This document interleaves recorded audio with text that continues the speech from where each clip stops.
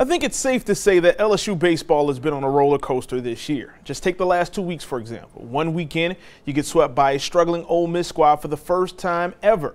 The next, you score 42 runs in Nashville to sweep nationally ranked Vandy.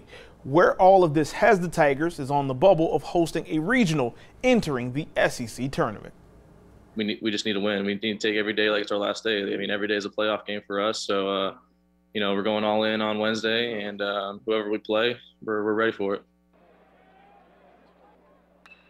Tournament this week as the four seed after finishing 17 and 13 in conference play. But when it comes to the road to Omaha, D1 baseball currently has the Tigers projected as a two seed in the NCAA tournament. LSU's 37 wins are impressive for their postseason resume, but a deep run in Hoover could ensure one more weekend of baseball at the box.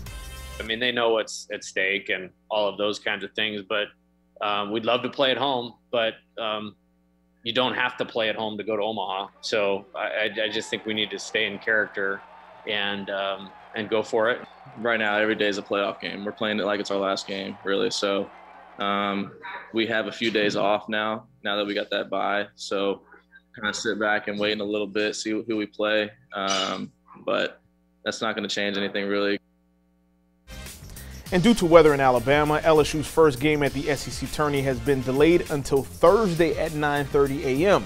Kentucky and Auburn will now play tomorrow to determine who will face the Bayou Tigers. That is a look at sports. We'll be right back.